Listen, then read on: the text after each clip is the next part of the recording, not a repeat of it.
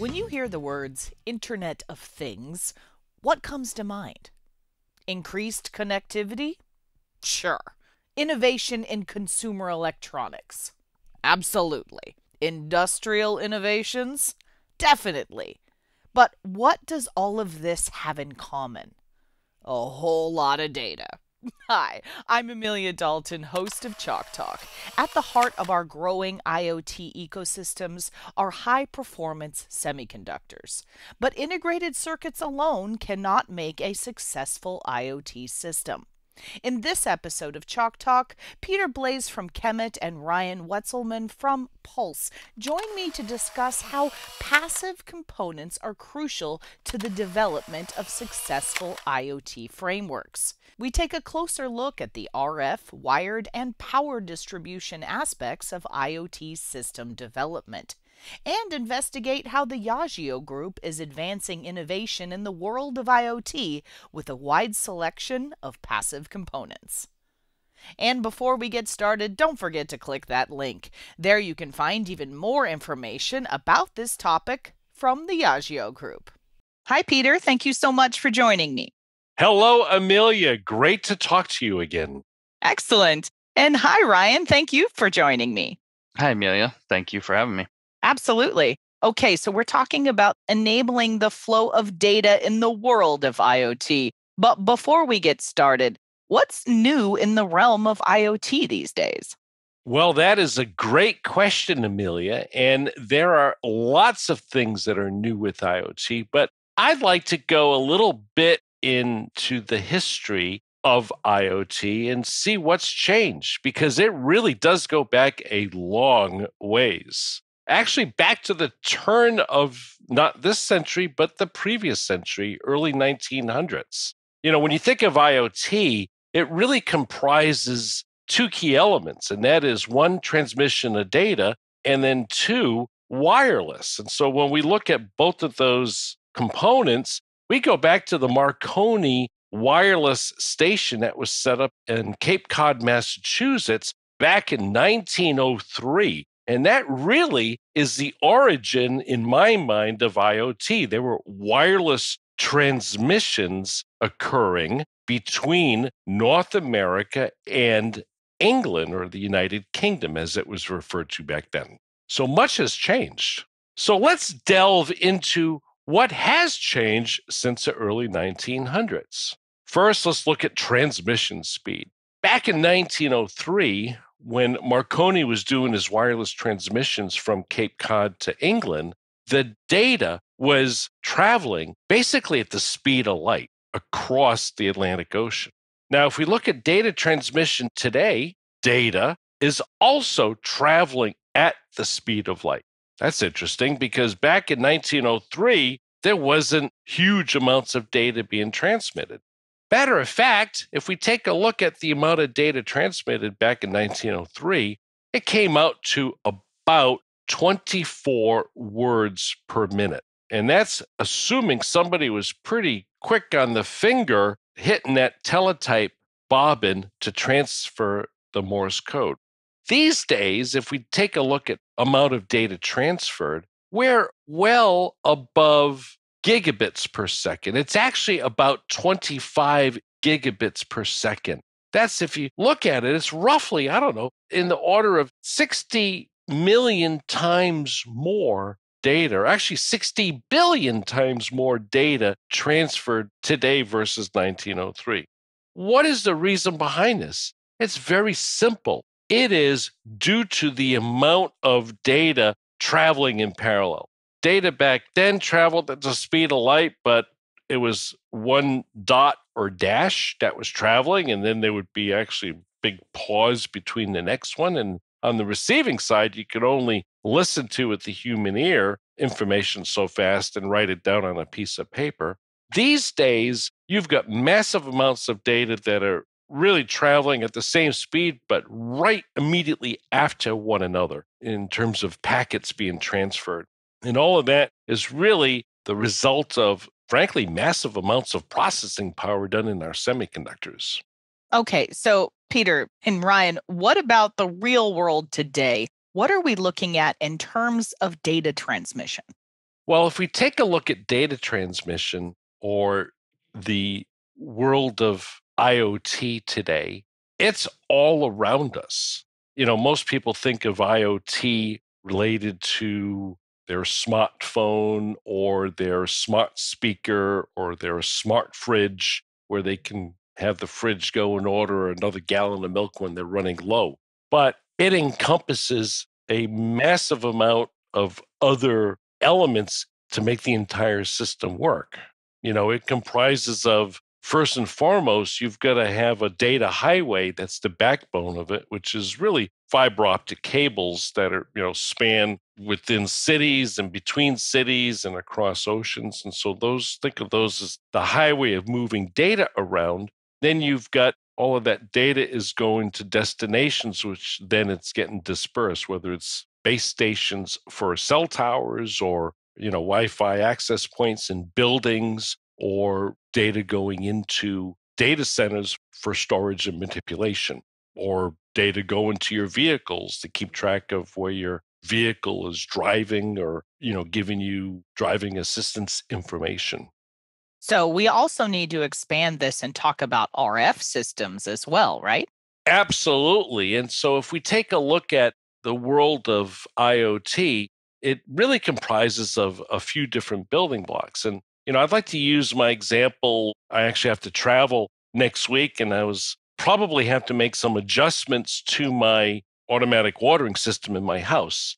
So while I'm out of town, I'm going to go and access my cell phone and I'm going to pull up my watering app for my yard. You know, I can go and reprogram the settings, you know, from the convenience of my cell phone. And if we talk about RF, a lot of the pieces of this IoT picture really are associated with RF. Obviously, my cell phone is an RF device. It's communicating wirelessly between the cell phone and the cell phone tower which uh, may be in close proximity or some distance away from my physical location. And on the other end of the whole scenario or the whole system at my home, there's a wireless router, which is you know acting as a uh, Wi-Fi hub, and that is creating a network, a wireless network, immediately around my home, which wireless devices inside of my home can communicate with, which happens to be the controller for my watering system. So, RF, I like to use that as an example because RF plays a big piece of the Internet of Things because most devices that we use today are connected to the IoT via wireless, you know, and it ranges from headsets to virtual reality goggles to you know when you're driving in your car your car's gps and a number of things are all communicating via wireless so the rf aspect really encompasses much of the world of iot but it really doesn't encompass the entire thing Sure, that makes sense. Now, we also need to talk about wired systems here as well. What are we looking at in terms of wired systems? So, wired systems complete the remainder of the world of IoT. Going back to my example, making some adjustments to my watering system at my home when I'm traveling, I start out wirelessly. But once my information is in the cell phone tower, it's going to go to the base station. And from there on end, that data is transferring wired, mostly fiber optic, cable wired through the network. It's going from wherever state I'm located at, it's traveling through the fiber optic backbone within the telecom sector, going to a data center where the application resides, which most people think about as the cloud, but it's not in the cloud. It's an actual very large physical building, or I should say, lots of buildings scattered around the globe where the information's processed, then it's kicking back out. It's going back through wired, or in this case, fiber optic cable to my internet service provider for my home, which in my instance is cable, and then is going through the coaxial cable into my home, at which point it then gets into the wireless router and then it leaves the world of wired and goes back into the space of RF. Really, the world of IoT is comprised of not only wireless or RF portions, there's a wired backbone behind it. Okay, now, Peter, power distribution comes into play here as well, right? It sure does, because all of this data manipulation, whether it's wired or RF, has to be handled by semiconductors and semiconductors that are geared towards churning massive amounts of data. And they require power in order to operate. We referred that as a power distribution network, and it's providing power to all of the devices. So, circling back to RF components, what does Yageo offer here in particular? Well, in the world of RF, Yageo offers first, we refer to them as RF capacitors. And these are used in all of the RF front ends, whether it's in cell phones or Wi Fi or all of the other wireless standards. And they are used to help condition the wireless signals and frequencies that are being transmitted. What's unique about these parts today, the leading edge manufacturers for the electrode system inside of them, we use copper. We use very high purity copper versus regular capacitors, which would use nickel. And the reason why copper is used is because it's drastically more conductive than nickel. You know, when we're dealing with high frequencies, you don't want to deal with losses. The amount of energy that needs to be manipulated and transferred, you don't want to be losing that energy or a portion of that energy as we go through each stage. So we need to make sure that the passive components utilized are as efficient as possible. And so, therefore, the copper allows the parts to be most efficient. And at least in the capacitor industry, there's a terminology used. It's referred to as high Q, which really means they have a high quality factor, or for the layperson, they're just ultra efficient in terms of the job that they're supposed to do. We also produce another material, and its purpose is the exact opposite. Instead of being all about efficiency, it's actually all about loss. We want to make the performance of these parts or material to be as inefficient as possible. And we call these the flex suppressor. And they come in different forms, whether it's sheets or tape or rolls, or you can even get them as little pre shaped objects or dimensions that are fixed to different surfaces. What's unique about this material is it's really comprised of uh, think of a bunch of discs like plates or saucers that are all stacked up on top of each other all horizontal but in a very random pattern separated by a, a non-conductive organic material. And what happens is is that when rf energy goes into this material it actually gets absorbed and it doesn't go through it. It just gets absorbed and it really dissipates as a minute amount of heat because of the losses introduced by each of these horizontal metallic particles or flat particles inside the material. So its purpose is all about loss and it's used heavily in RF devices or applications, really to mitigate unwanted crosstalk between RF components, both active and passive.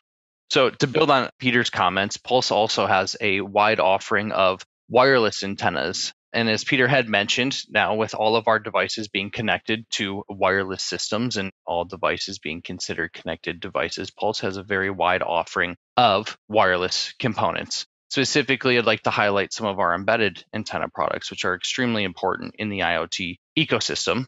Pulse offers both a high temperature co fired ceramics and antennas as you see them on your home network devices. So, Pulse offers a high quality, high performance series of external antennas that are used for Wi Fi 6E devices to help connect your thermostats or your connected fridge we also manufacture in building Wi Fi antennas for large corporations, large businesses that allow your smart speaker in your office to be connected to your phone and to the network within your entire corporation. We also offer outdoor antennas, which in again in the space of IoT is extremely important in the backhaul space, which allows your cell phone to communicate possibly within your home network. And that data is able to be transmitted outside of your home network to a base station where all of that data is compiled together and again sent back out for further data processing. And the Pulse product line supports all of the new technologies and frequencies, which would include your new 5G NR frequencies as well as Wi Fi 6E frequencies, which I had touched on. So, Ryan, what about wired components? How does the Yageo Group enable the wired aspect of IoT? So Pulse has a robust offering of wired components that fit within the IoT ecosystem, specifically again on the wired portion for backhaul and on the fiber side, specifically being used in data centers where all of our data is being transmitted and processed and gathered, whether that's via your home network and your home entertainment, or whether that's being used for business and high graphics type activities. Pulse offers signal transformers, connectors, filters, common mode chokes, and ferrite beads. And specifically, I'd like to highlight some of the Pulse components that we'll be familiar with that are very important to the IoT ecosystem, such as signal transformers and connectors. And we can think of examples within uh, industrial IoT where factories may be demanding increased bandwidth, where they can no longer rely on field bus type protocol and are moving towards implementation of a modular Ethernet protocol. So in this case, our RJ45 connectors are being used, and we can think of this as the essential physical bridge to the internet using these Ethernet connectors. We also, again, offer signal transformers and our integrated connector modules that are rated for 140 watts to 200 watts for power over Ethernet, which allow higher power density without saturating the magnetics. Okay, so Peter, can you walk me through how all of the integrated circuits in these RF and wired systems are powered? Absolutely, Amelia. And this goes back to the power distribution network, or I like to call it PDN.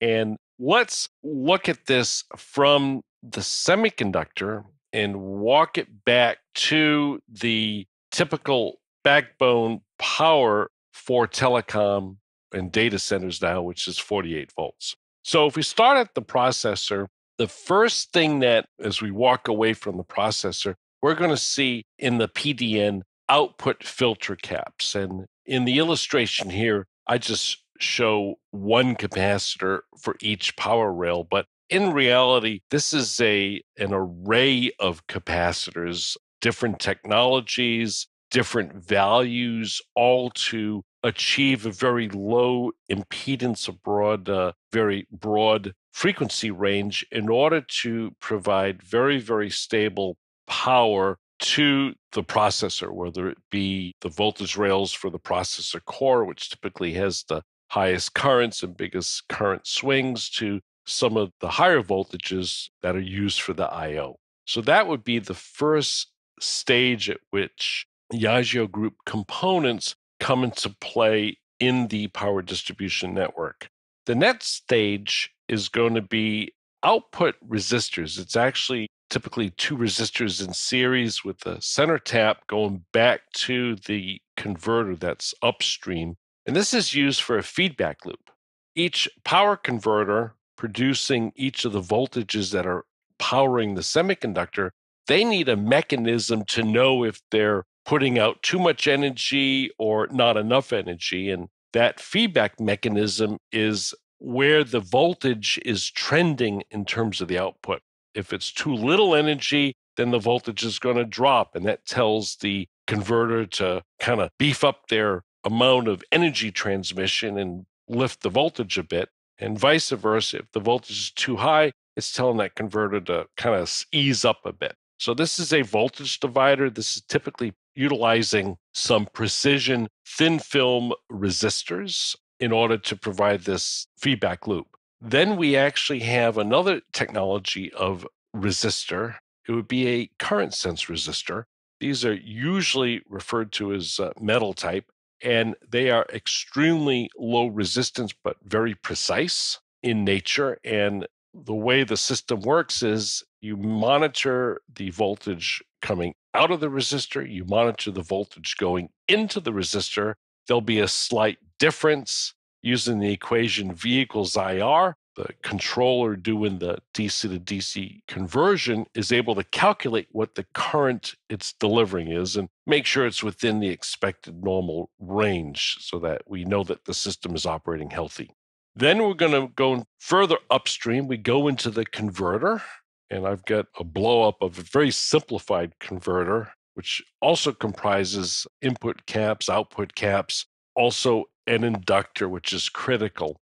And there's different technologies of these inductors that are produced by both the Kemet brand in the Yageo group as well as the Pulse portion of the Yageo group.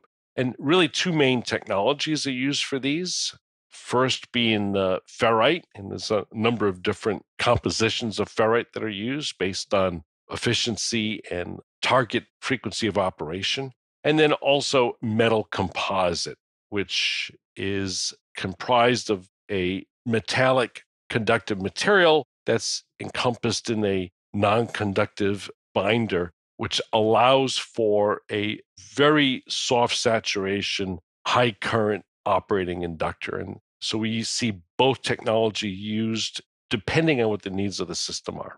As we continue upstream, the next stage is going to be again capacitor technology. In my illustration, I'm calling these DC links. Reason is they're acting both ways as a decoupling cap and a filter cap.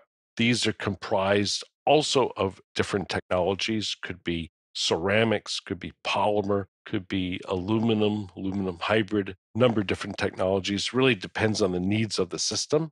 Further upstream, after a, another conversion stage, most modern systems do not convert straight from 48 volts down to, say, 0.8 volts. They go to an intermediary voltage, such as 12 volts. We would have a input filtering cap Typically, these are aluminum, aluminum hybrid, aluminum polymer. They could be tantalum polymer as well. And this is really to decouple the first stage converter from the 48 volt power rail. There's always some type of circuit protection involved, which the dominant technology used here in this technology space would be the TVS diodes. And then lastly, there would be some type of differential mode choke component. It could be an actual inductor referred to as a differential mode choke, or it could just be a fairly hefty sized surface mount inductor. There's a number of different ways of performing that function. So, what does the Yageo group offer in terms of PDN components in particular?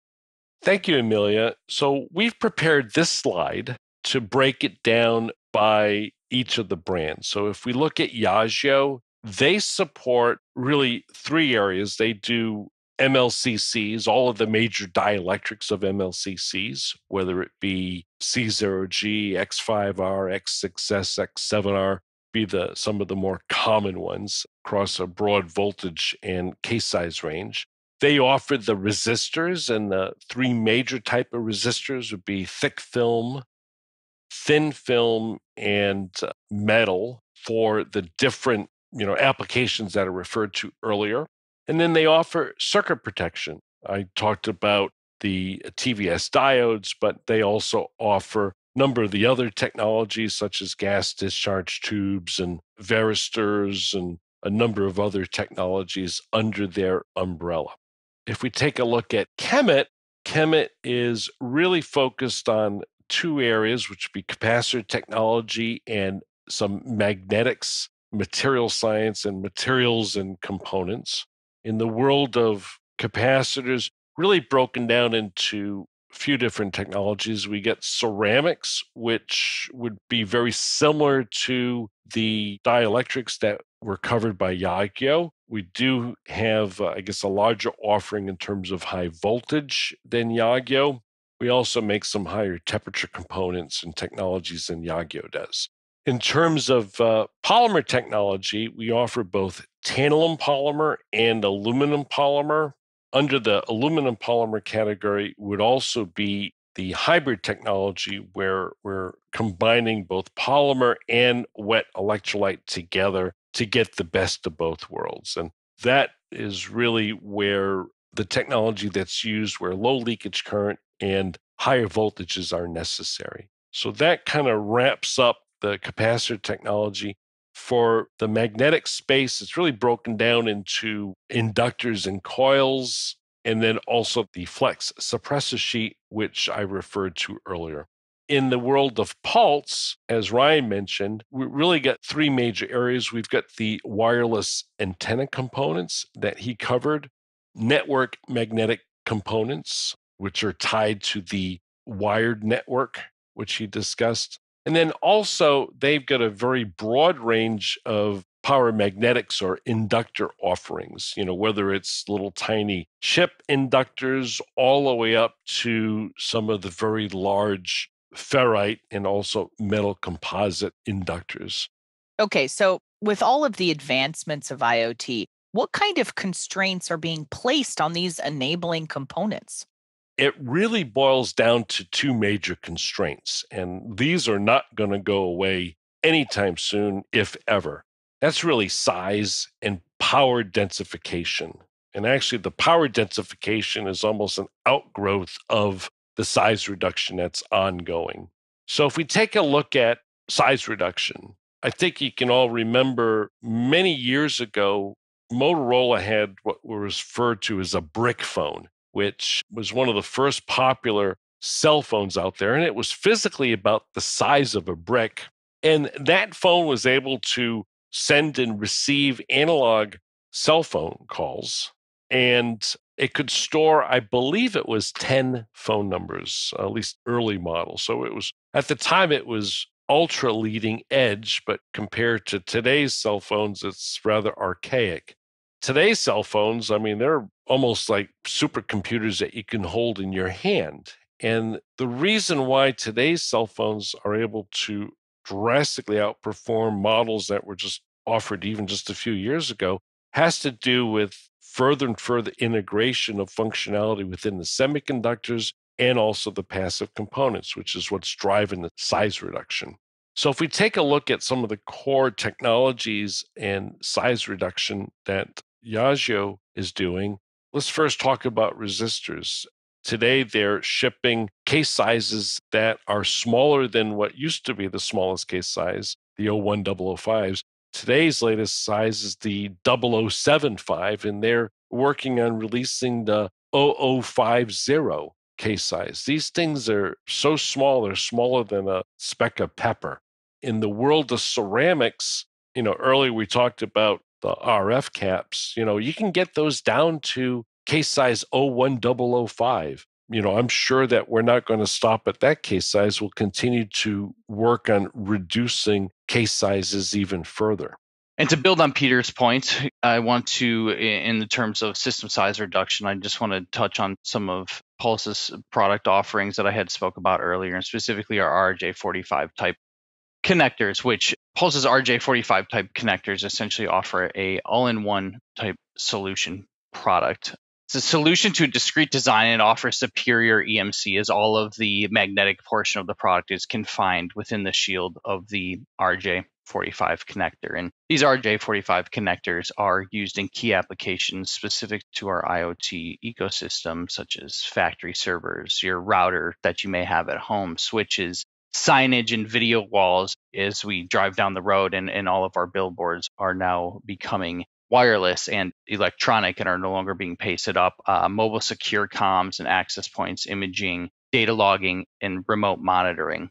In our EP7 and EP10 products, which enable higher power density and allows for almost two times the power density in the same footprint by allowing for uniform flux distribution in a higher effective core area. Same footprint, but double the power density. I would really like to highlight our newest TLVR technology, which again it is a new technology for Pulse. And so our TLVR technology or TLVR topology enables faster transient response and utilizes a dual winding power bead inductor. So, in a traditional approach to meeting these types of requirements, would be to employ a multi phase buck power topology for these 12 volts or, or 48 volt type systems.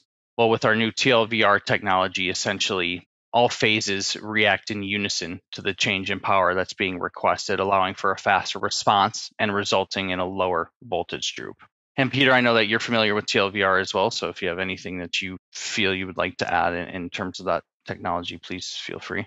And Ryan, the magic behind the TLVR is that it allows customers to place these magnetics much closer to I guess the load, which would be typically the processor core voltage rail, and it allows basically the power delivery network system to provide power more efficiently. I mean, that's really the reason why the architecture was originally developed and is now being heavily adopted in the telecom and data center portion of IoT. Okay, so where do we go from here? What kind of advancements are you guys seeing in this realm? This is what gets me really excited because this is the aspect where we're looking forward in terms of the possibilities. I want to talk about a few areas that we're working on. The first one is related to embedded power inductors. Earlier in our discussion, we talked about the flex suppressor sheet. What we've done is we've taken that technology, we've changed up the binder system so that it is now a uh, inorganic material set which allows us to further densify the magnetic plates together and also make thicker systems as needed. And these can be actually embedded into the material that FR4 boards are manufactured from. By doing this, we can take the magnetic, and these can be some very high current magnetics handling 40, 50 amps that would have been on the surface of the board and embed them inside the board. And the turns are actually produced by the traces, very heavy copper traces, and the plated through vias within the board. So that's one area that we've done some very active development on, and we're actually shipping some systems to customers with this technology today. When we look at components that are on the board, earlier we talked about both metal, composite, and ferrite. Now, in order to make systems smaller, and that's one of the things that everybody's goal is, in the world of power conversion, one of the techniques to do this is by increasing frequency. If you increase the frequency, you can shrink the size of the magnetic and you can shrink the size of the capacitors that are needed. Cost of passive component guys, they don't like this because they want to sell bigger parts and more of them. But in terms of densification and increasing functionality per unit area, increasing frequency allows you to shrink everything.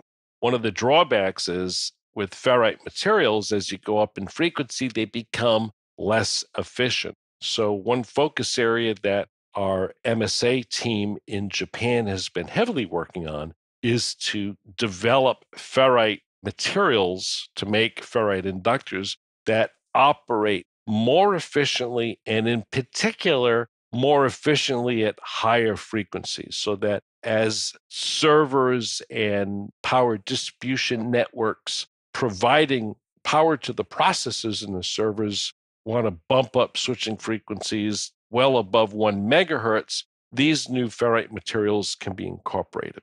Embedding is not limited to magnetics. We can also do embedding of capacitors. Now, the world has been embedding tiny ceramic capacitors for many years, but those are very small capacitor values. We've been working on embedding aluminum polymer.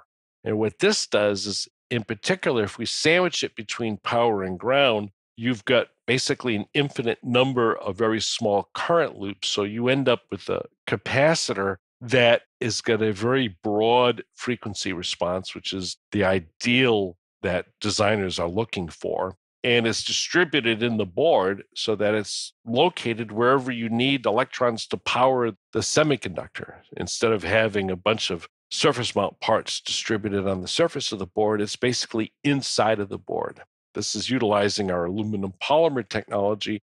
This is something that we've been working in the lab on developing now for a number of years. And this will allow further densification or shrinkage of systems expanding from embedded aluminum polymer, we can package aluminum polymer in large form factors that, frankly, can be made into different shapes. Over here, I've got illustrated a one layer component, which is actually somewhat flexible. You can bend it without damaging the component. But we've actually had customers ask us to see if we can make capacitors that are you know several inches in diameter very thin with a hole in the center so this technology affords us flexibility to provide large bulk capacitance in unique form factors and the last uh, advanced technology which i like to refer to is the KONNEKT technology which uses tlps which is a transient liquid phase sintering it's a technique for attaching different devices together we've been shipping banks of capacitors attached together using this for a number of years into the server community supporting the cloud behind IoT. But we can also use the technology to combine different components together, whether it's capacitor banks with inductors for resonating circuits or capacitors with uh, overvoltage devices such as varistors. The sky's the limit on this. So, where does this leave us? Really, when we look at IoT, it all boils down to the performance of semiconductors.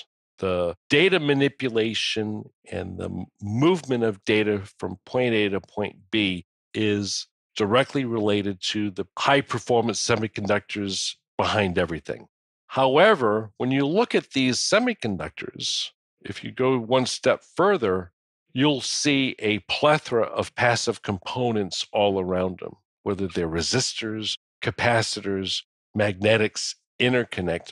All of these passive components are really what enable these high performance semiconductors to, frankly, do their magic.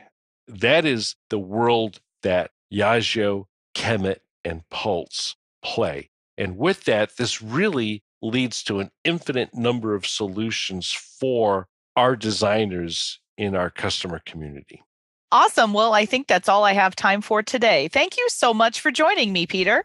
Thank you for having me. It's uh, you know I always enjoy these sessions and can't wait to meet again. Thank you. Absolutely. And thank you for joining me, Ryan. Thank you for having me. And before we go, you didn't forget to click that link, did you? There you can find even more information about this topic from the Yageo Group. For Chalk Talks, I'm Amelia Dalton from eejournal.com. For more Chalk Talks, head on over to the Chalk Talk section of EE Journal. You can't miss it, it's right across the top. Or head on over to YouTube, youtube.com slash EE Journal.